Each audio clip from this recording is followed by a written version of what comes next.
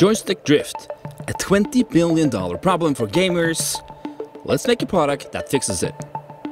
If you put an apple in your fridge, it will last for about two months. That's the shortest time most game controller lasts. For most people, that's a problem, because game controllers can cost up to $250. This is a brand new potentiometer from an unused joystick module from the new DualSense Edge. And this is a potentiometer with drift. The drifting joystick is missing material where the wiper arms are in contact with the resistive material. This will cause poor connection and generate a lot of electrical noise, causing the drift. I made this DIY double banana potentiometer to make a point about all potentiometers ever made or that ever will be made. The banana controller takes a few minutes to get used to, but is perfectly capable of controlling the game. However, it doesn't work well over time because it just grind away the banana. The banana is too soft and suffers the same fate as our PS4 potentiometer, only faster. This is because a phenomena that is very hard for controller making companies to understand. Rubbing materials against each other causes material removal, so let's just not try to fix it with our own potentiometer. The problem we're trying to solve is called position control. We have a rotating axle and we need to know its position. A better solution for this has been used in the control of electric motors for over 40 years. We slap a magnet on the motor axle and track the magnetic field with Hall sensors. Here is a chip that can track a rotating magnetic field and give us a varying voltage based on the rotation. It does exactly the same thing as the potentiometer, but without the rubbing. Remove the pot, and there's our joystick axle. We need to make the magnet rotate when the axle of the joystick is rotating. That can be done with a simple magnet holder. But before we continue, we need to run our first experiment to find out if our magnet is strong enough for the sensor. Ideally, we should have an AGC of 64. AGC is automatic gain control, which is kind of the microphone volume for the sensor. But it's not for sound, it's for the magnetic field, and the magnet needs to be centered. For our next experiment, our goal is to see if we can detect the rotation of the joystick. At this point, we only need to position our sensor close to the magnet. We'll make a sensor holder in its simplest form because if the experiment fails, we won't have wasted time on a complex holder. From our old video, we remember that pushing the joystick to its bottom position would give us about 0 volt, and the top position about 3.3. This is what we need to replicate. However, when we power up the sensor, we see that it only gave us 1.2 volt for the bottom position and 1.8 volt for the top position. The chip is designed to track a full 360 degrees, but we are only moving it a total of about 50 degrees. Thankfully, the chip maker has predicted this scenario can happen and they made two settings we can adjust. We can program the chip to recognize our desired 0 volt position and our maximum voltage position. After setting the bottom position, the voltage goes from 1.2 volt to 0 and our 1.8 volt top position goes to 3.3 volt. Perfect. Another experiment done. It's time to make a prototype that can be fully assembled and tested in a real controller. We start with a new CAD model, a magnet and its holder. Our goal is to create a plastic part that can hold both the circuit board for the sensor and act as a bushing for our magnet holder. After a few iterations that uses the same plastic knobs and guides as originals, we end up with a solution using screws. What matters most is to create a circuit board prototype and order it from our friends over at PCBWay. Making the circuit board is pretty straightforward, and our first design looks pretty cool. We now have a digital, fully working prototype, and all we have to do is wait for the circuit board. But that's going to be in the next video. Uh, okay, I guess we could also do it right now. Let's continue. As normal, I get my PCBs from PCBWay. I get the PCBs for free. They have offered to pay me to sponsor the channel. But for now, I'm just happy with free PCBs. Because then I can just change to another vendor if I want to, without thinking about the money. But there's like no reason, because PCBWay is the one that I'm most happy with. They never bitch about anything about like weird PCBs, like having gold edges and all this other kind of stuff, which other PCB manufacturers really don't want to do. And they just have the absolute fastest manufacturing time and excellent quality. And let's not forget that black matte solder mask. So thanks PCBWay. First we apply solder paste through a stencil so we'll get paste only on the pads for the components. Then we place the components on top of the circuit board and our sensor and then we fry it all in an oven and the solder paste becomes solidified metal which create electric connection while also holding the component to the board. This project is going to be made open source once I'm done with the prototyping phase. And because of that, I want the project to be made out of easy accessible parts and manufacturing methods which is easy accessible for most people. My design is resin 3D printed, but it is also possible to print it on the normal FDM based 3D printer if you're able to do some post-processing.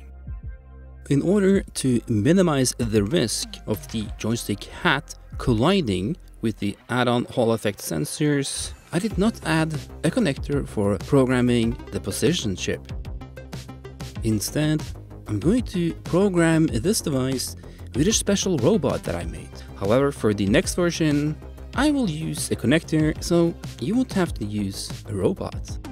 This project have been through months of different iterations on the mechanical parts. Let's put together one of the latest design and test it in a controller. This joystick has some serious drift issues. It's almost uncontrollable on a low dead zone setting and it draws some incredible jaggedy lines, which is a sign of a lot of electrical noise caused by the analog sticks. I actually need a 25% dead zone in order to just use this controller. Let's open it up, pull out the main board, start our soldering iron, and get ready the pot meters to be desoldered. First, I'll attach the circuit board to the robot. I usually do this with the circuit board in my hand, but it's easier to film it this way.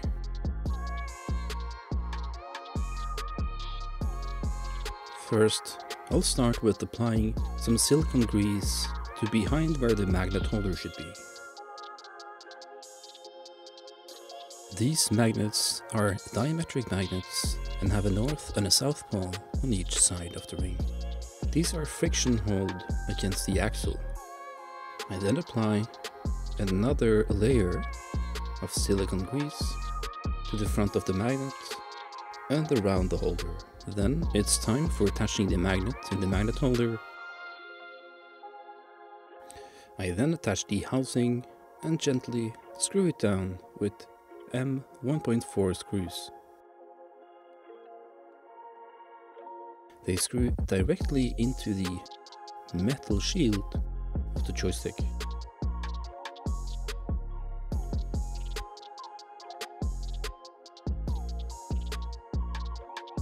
I then see that the joystick moves very easily. And at the end, it's time to screw down the circuit board and again make sure it's free moving. It's now time to calibrate the joystick. First I'll calibrate the end positions. I'll do this in a rotating fashion. I then calibrate the perfect center point by releasing the joysticks many times from each direction. And then the machine starts offsetting the start and end point, so the center point from our calibration routine will match the center point hard programmed in the controller. And there you have it. It's time to test it. First, it can draw super nice curves, meaning It doesn't draw any jaggedy lines, meaning that it's very low noise and there's good interaction between the X and Y axis. Even on high speeds, you can see it doesn't draw any jagged lines and it draws really beautiful curves, which means low noise from the sensor signal and high precision and accuracy in capturing the angles of the joysticks dead zones for absolutely no drift when realising it from the sides would be 1 to 2%. In game with no drift will probably be more up to 3%. That is something I'm super happy with because this controller did not used to even work. It wasn't playable. Let's see how they look at the gamepad test here. They're well centered, very responsive, nice smooth movements, to test for lag, I made a new setup for my machine to accurately test responsiveness and those sort of things. And uh, this chart is from movement from center to the edge in about 0.2 seconds, so it's a really fast move. But from the result, you can see that the Hall effect stick actually reacts faster to the change, and it's also a nicer line because it has a lot less noise. So super happy with these results. Warzone 2, let's get the dead zones to zero see what happens. Right off the bat, there's no drift, but I'm pretty sure I could get it to drift if I do very small movements and then just like release the stick. If I do big movements and just release the sticks, they're probably just going to go to zero and there will be no drift, but there will will be drift uh, if you have very small movements and this is natural. This is because the mechanical spring does not center the joystick well enough and all other joysticks that has zero drift with this kind of joystick. Are just using some kind of trick to do it. And the only way they can actually get them to have zero drift is to add a dead zone of some sort in the controller. So they basically have just move the dead zone from the game to the controller. I'm really not sure that they intentionally do this because I, I feel it's somewhat misleading marketing because everyone is running around saying that these controllers have zero drift because they have Hall effect sensors. But that's just not true. That's not how the world works. Because, you know, I could I can blow on this joystick with a straw and it's gonna move the position. That's just how sensitive it is. Because this sensor is both extremely accurate and precise, it's going to measure exactly where the joystick is. And if that joystick do not stop in the center, it's not going to be measured to be in the center. This joystick will work on any controller that uses 3.3 volts to power it and uses the Alps Alpine joystick and has room for the Hall sensor packages. The other controllers, like PS5 controller and Xbox, runs on 1.8 volts and they need more components, which is going to be in a later iteration. So we got it working beyond my expectations. So, what is next for this project? When can I shut up and take your money so you can get this product? This first prototype stage is now over, and I will be moving into the next prototype, which most likely will be the prototype that will be exactly like the launch product. As of today's date, if you are a Patreon tire of the prototyper, you can DM me right now on Patreon with your address and I will ship you one of these first early prototypes. Those will be complete sets of joysticks, not just the add-on. So I'm sorry you most likely missed the opportunity to get this first prototype, but there's going to be another chance. The next prototype, which most likely be the prototype that will be exactly like the shipped product, will be limited. I just put a cap on my Patreon tire. Once we are done with this test phase, which probably will take about one month from people who will be getting their prototypes, it will be open for sale through the normal sources. I have been getting a lot of these comments for good reason. People who worry that there's going to be a large company that comes and buys the things I make. It's really about time I'm just gonna tell my intentions with this entire thing. I have no plans in making a gaming company, nothing like that. I have no plans selling anything that I make as property rights. My intention is to be a single individual that sits in his garage and does whatever he can to push technology forward as a single individual. I have a lot of respect and feel very honored for all the offers I've been getting. But I don't mean to be rude, but no thank you. There is no amount of money in the world that convinced me otherwise. And this is a project I've been working on for four years. And I knew that if I was able to do the stuff I'm doing now, this time will come where I have to say no to this stuff. And let me tell you, it is extremely hard to say no to money when you actually need it.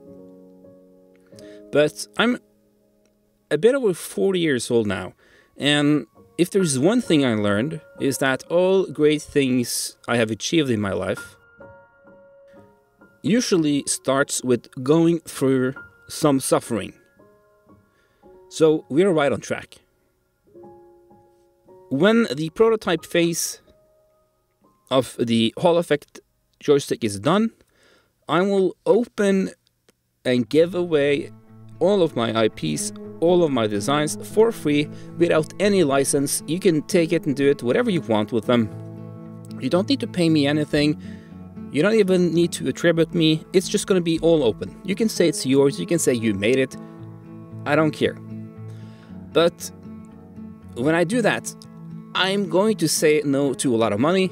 It is important that if you like what I'm doing and you have the option to support me, that you can do that through Patreon. And I will continue to push technology forward, give you access to the stuff that you're not supposed to have to a price you're not supposed to pay. And my plan also is to learn you how to do this. So you can do the exact same thing as me. Because if you help me out, I'll promise I'll come back for you.